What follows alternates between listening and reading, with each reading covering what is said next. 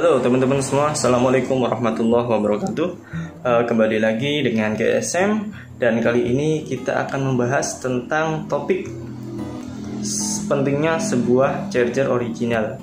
Jadi teman-teman semua yang membeli handphone Baik itu second atau uh, Apa ya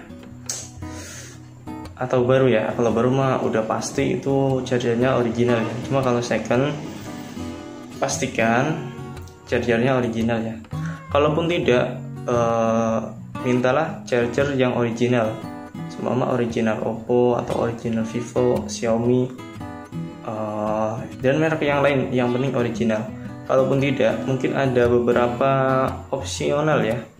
Ada charger yang saya rekomendasiin yang kualitasnya bagus kayak Xiaomi kayak Xiaomi sih. Kayak Vivan dan Oasis itu juga bagus dari Oppo aksesoris Oppo terus robot. Itu yang charger saya pakai dan saya juga pakai itu charger Vivan yang harga 80.000 itu udah lumayan. Dipakai untuk ngecas Xiaomi Mi A2 Xiaomi S2 ya itu punya istri saya jadi saya juga biasanya kadang ngecas pakai casan itu juga. Karena kalau kita beli charger yang abal-abal yang harga 15, 20 atau 25 kalau nggak ada mereknya atau mereknya ya Samsung cuma Samsung abal-abal ya ada itu yang merek-merek kayak gitu.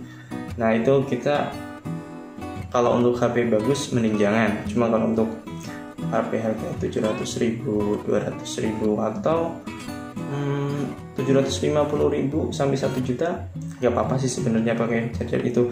Cuma kalau HP teman-teman HP bagus harga 4 juta 5 juta atau 3 juta saya lebih mensarankan untuk beli charger yang original atau kalau nggak beli Vivan charger Vivan robot Oase dan merek-merek yang sudah terkenal tentunya ya yang dia memiliki udah teruji kualitasnya dengan memakai aksesoris yang saya rekomendasiin dan tentunya yang original.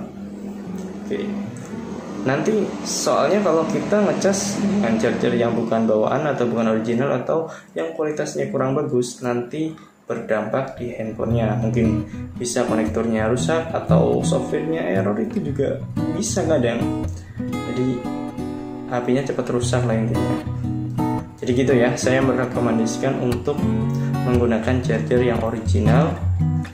Dan kalau enggak ya pakai yang aksesoris yang dia emang sudah teruji lah. Banyak orang yang bilang wah ini bagus ini bagus ini bagus gitu. Gitu ya.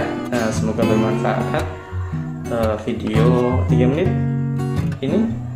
Dan sampai jumpa di video selanjutnya. Assalamualaikum warahmatullahi wabarakatuh